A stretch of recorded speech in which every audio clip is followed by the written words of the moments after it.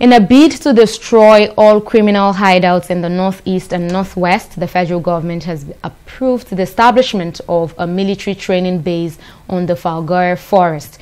The forest, which has been identified as a breeding spot for bandits and other criminal elements, borders Kaduna, Bauchi and Kano states.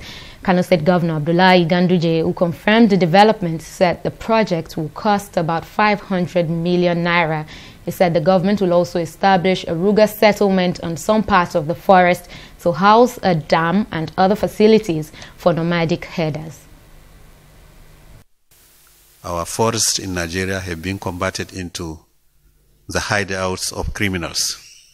So Falgore Forest, which is bordering Kaduna State,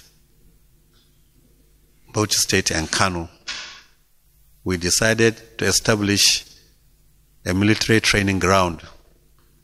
We are spending over 500 million to provide auditorium, houses, dining hall, kitchen, shooting range, and many other amenities to enable military to train every month or continuously.